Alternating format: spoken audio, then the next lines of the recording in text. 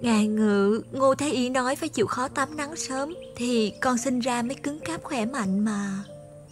Em muốn đến Điện Càng Thành với Ngài. Không, không được. Nàng thật là Kể từ khi nàng mang thai Nàng lại hóa ra trẻ con còn hơn lần trước nữa. Thôi được rồi Trẫm sẽ cho bọn người hầu Đưa nàng đi dạo Ở trong thiệu phương viên.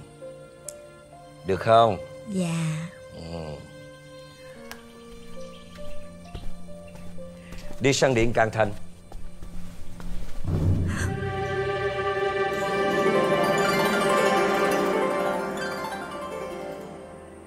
To gan hỗn xược Dám cản đường của thánh thượng à? Mày muốn chết hả? Dạ Con không cố ý. Xin thành thương thả tôi Xin thành thương thả tôi Thôi, thôi đi. Cũng Dạ. chỉ là một cung nữ thôi mà. Cho lui đi. Dạ đội ơn thành thường À, khoan đã Ngươi tên gì? Là cung nữ ở đâu? Dạ bẩm thành thường Con họ Hồ Tên là Ý Nhi Dạ Con là cung nữ của ban tiếng Quế Ý Nhi à Tên nghe đẹp Nhưng chữ Ý đây là nghĩa thế nào? Dạ bẩm Chữ Ý Trong chữ Ý Đức Có nghĩa là tốt đẹp ạ Ngươi biết đọc chữ hả? Dạ bẩm Hồi nhỏ mẹ có dạy con chút ít. À Là nữ nhi mà biết chút ít chữ như vậy Cũng hay. Chữ Ý này Đẹp đó. Trẫm cũng có một đứa con gái Tên cũng có chữ Ý Nhưng rất tiếc.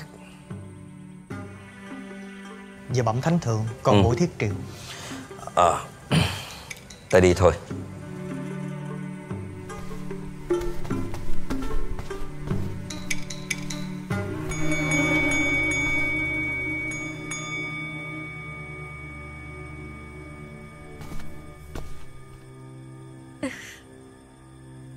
kia?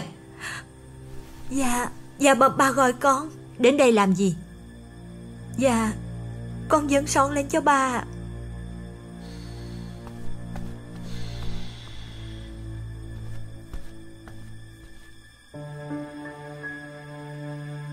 Hóa ra là con tiện tỳ rình mò hôm nọ.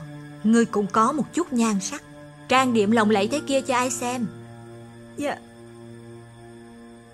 Vả miệng nói cho ta Tới khi nào ta bảo ngưng thì thôi. Dạ. Thưa bà thả tôi Thưa bà thả tôi Thưa bà thả tôi à! À! Xin bà thả tôi cho con.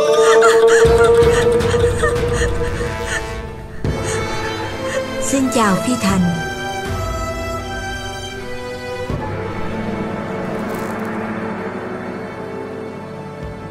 Sao lại hành hạ cung nữ ngay trong viện đoan huy? Thưa Phi Thành Có điều chị không biết. Ả tiền tỳ vô liêm sĩ này Đang dở trò dụ mỹ đức kim thượng. Cho nên em phải trị tội ả. Dạ bẩm Phi Thành Xin Phi Thành cứu con với. Con có ăn gám hung mực gậu Cũng không dám làm như vậy mố thứ ba. Ở đây ai mà chả nhìn thấy. Ngươi còn dám chối cãi. Dạ Chẳng qua là Đức Kim Thường có hỏi con vài câu. Thật tình là Không có chỉ mơ ảm hay thứ ba. Thôi được rồi Cung nữ thất lễ Phạt vả là chuyện đương nhiên. Dù sao thì cũng đã bị vả miệng rồi. Tha cho ngươi. Tha cho nó. Dạ Đội ơn Phi Thành Đội ơn Tần Đức. Ngẩng mặt lên.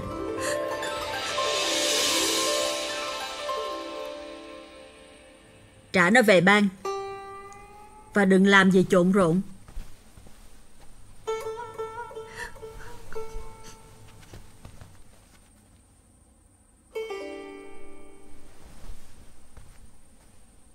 Tần Đức.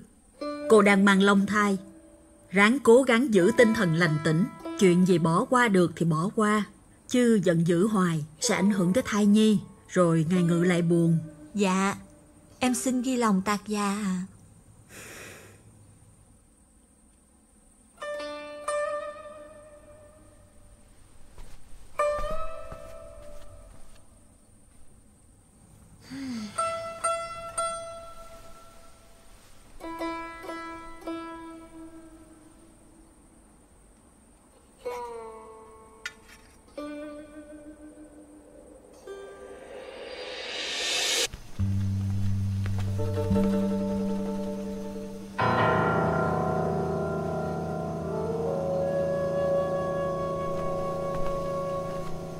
Đứng lại đó đi. Thái độ này là gì? Xin vấn an Tần Đức. Thưa Phi Trinh Em thai đã lớn Lại hay hoa mắt chóng mặt Nên muốn về nghỉ Ngài ngự cũng cho em được miễn lễ Phi Trinh thông cảm.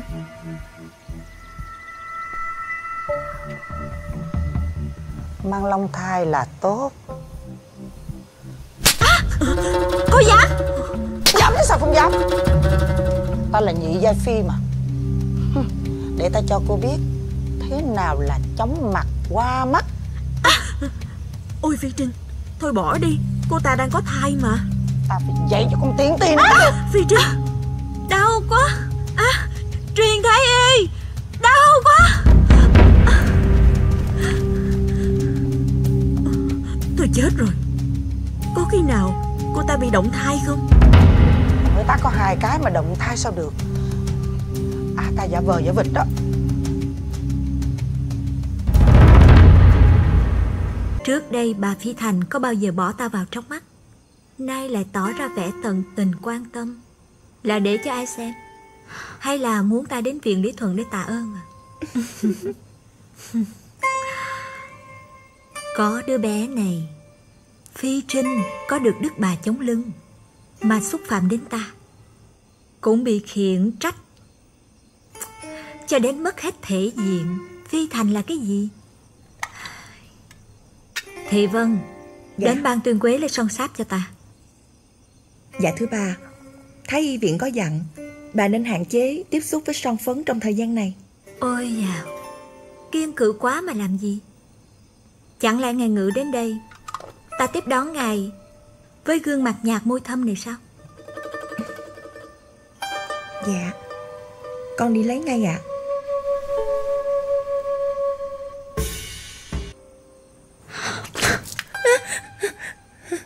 Trà nóng như thế này mà dâng cho ta uống hả? Xin bà thứ tội Xin bà thứ tội. Làm động đến lòng thai của ta Thì coi chừng cái đầu trên cổ của ngươi đó. Dạ Chị đến đây có việc gì? Ở viện Đoan Huy này, Chỉ có chị em ta. Đợi đến khi có việc, Mới ghé thăm nhau được sao? Thị Hồng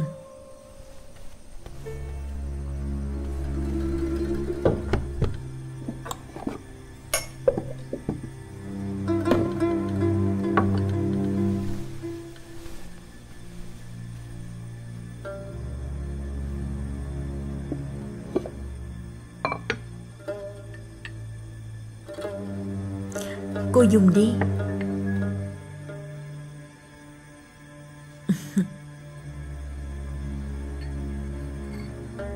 Trông cũng ngon đó. Thị Vân Dạ.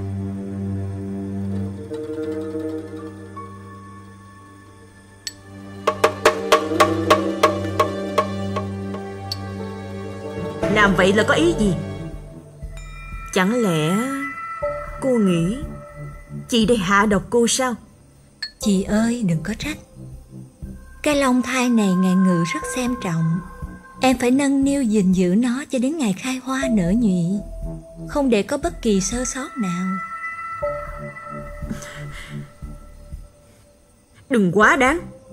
Chị đây nhịn cô lâu lắm rồi. Long thai quý gì chứ? Chẳng phải Cô lén lút Đem bạc vàng tới khâm thiên giám sao Chị nói cái gì? Những việc cô lén lút Thẩm thục sau lưng Hồng tranh sủng Đừng tưởng chị đây không biết gì. Uổng công phụ mẫu Dạy dỗ của gia giáo Nên đừng có dở lối Kiêu kỳ ở đây. Dù có nói gì Thì khoảng cách giữa tôi và chị rất lớn. Tôi là tam giai tầng Địa vị cao hơn chị. Về lễ nghi tôi không tính toán.